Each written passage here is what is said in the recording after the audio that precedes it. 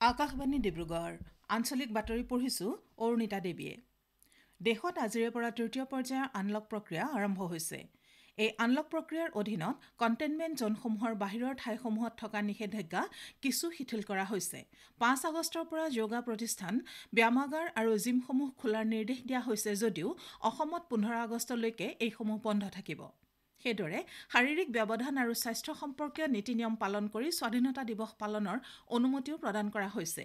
Containment জ'নৰ বাহিৰে ৰাজহুৱা যাতায়াত আৰু অন্যান্য ব্যৱস্থাৰ অনুমতি প্ৰদান কৰাৰ বিপৰীতে এই নিৰ্দেশনাত শিক্ষা প্ৰতিষ্ঠানসমূহ একত্ৰিছ আগষ্টলৈকে বন্ধ ৰখাৰ নিৰ্দেশ দিয়াৰ লগতে শনি আৰু দেওবাৰে চহৰাঞ্চলত থকা লকডাউন আৰু নিশাৰ সান্ধ্য আইন পূৰ্বৰ দৰে অব্যাহত ৰখাৰ নিৰ্দেশ দিয়া হৈছে। ইফালে অসম চৰকাৰে এই সময়ছোৱাত পূৰ্বৰ নীতিসমূহ মানি চলাটো বাধ্যতামূলক কৰিছে। আনলক থ্ৰীৰ চৰ্ত অনুসৰি ৰাজহুৱা স্থান বা কৰ্মক্ষেত্ৰত মাস্ক পৰিধান বাধ্যতামূলক হোৱাৰ লগতে সামাজিক স্থানত পৰস্পৰৰ মাজত কমেও ছফুট দূৰত্ব ৰক্ষা কৰিব লাগিব।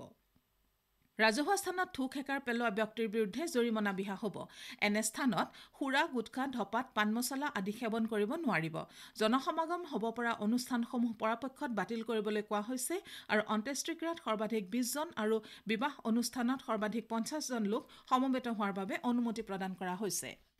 কেন্দ্ৰীয় স্বাস্থ্য তথা পৰিয়াল কল্যাণ মন্ত্ৰালয়ে দেশত কভিড নাইণ্টিন সংক্ৰমণ সম্পৰ্কে জনোৱা শেহতীয়া তথ্য অনুসৰি দেশত মুঠ আক্ৰান্ত ষোল্ল লাখ পঁচানব্বৈ হাজাৰ নশ আঠাশীজন আক্ৰান্ত ৰোগীৰ ভিতৰত বৰ্তমান পাঁচ লাখ পঁয়ষষ্ঠি হাজাৰ এশ তিনিজন সক্ৰিয় ৰোগীয়ে চিকিৎসা গ্ৰহণ কৰি থকাৰ বিপৰীতে দহ লাখ চৌৰান্নব্বৈ হাজাৰ তিনিশ চৌসত্তৰজন ৰোগী সুস্থ হৈ চিকিৎসালয়ৰ পৰা ঘৰলৈ গৈছে। বৰ্তমান সুস্থ ৰোগীৰ হাৰ হৈছে চৌষষ্ঠি দশমিক পাঁচ দুই শতাংশ।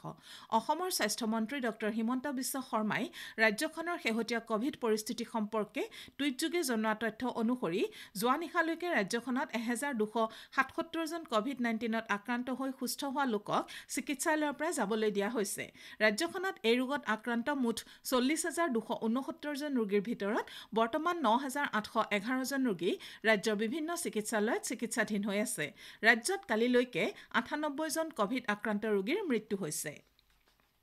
ডিব্ৰুগড় জিলাৰ উপায়ুক্ত তথা ডিব্ৰুগড় দুৰ্যোগ ব্যৱস্থাপনা প্ৰাধিকৰণৰ অধ্যক্ষ পল্লৱ গোপাল ঝাই কভিড নাইণ্টিনৰ সংক্ৰমণ ৰোধৰ বাবে ডিব্ৰুগড় জিলাৰ চিৰিং চাপৰি বসন্ত নগৰৰ অৰুণা দত্ত নামৰ এগৰাকী কভিড আক্ৰান্ত মহিলাৰ বাসগৃহ মানকটা টেপৰ গাঁৱৰ কভিড আক্ৰান্ত দেৱজিৎ ৰাজখোৱা আৰু শুকান পুখুৰীৰ কভিড আক্ৰান্ত মানিক গগৈৰ বাসগৃহৰ লগতে ডিব্ৰুগড়ৰ পশ্চিম ৰাজহ চক্ৰৰ অধীনৰ চেঁচা তিনিআলিৰ কৰোণা আক্ৰান্ত বিশাল ভক্ত আৰু পদুমী কোঁৱৰ আৰু একেটা ৰাজহ চক্ৰৰ অধীনৰ গৰুধৰীয়া পাত্ৰ গাঁৱৰ আক্ৰান্ত অমিত গগৈৰ বাসগৃহ কেইটাও কণ্টেইনমেণ্ট জ'ন হিচাপে ঘোষণা কৰিছে।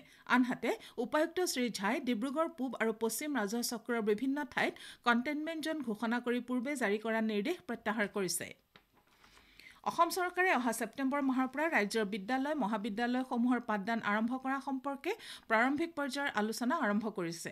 এই বিষয়ে জানিবলৈ দি ৰাজ্যৰ শিক্ষামন্ত্ৰী ডঃ হিমন্ত বিশ্ব শৰ্মাই আজি এক সংবাদমেলত এই কথা প্ৰকাশ কৰি কয় যে শিক্ষানুষ্ঠানসমূহত পুনৰ পাঠদান আৰম্ভ কৰা সম্পৰ্কে ৰাজ্যিক পৰ্যায়ত শিক্ষা বিভাগৰ বিষয়ববীয়া তথা বিশেষজ্ঞসকলৰ সৈতে আলোচনা চলাই কিছু নিয়মাৱলী প্ৰস্তুত কৰা হৈছে আৰু এইসমূহ অহা সপ্তাহত চৰকাৰী ৱেবছাইটত তথা বাতৰি কাকতৰ বিজ্ঞাপনত প্ৰকাশ কৰি এই সম্পৰ্কে একত্ৰিছ আগষ্টৰ ভিতৰত ৰাইজৰ মতামত বিচৰা হ'ব।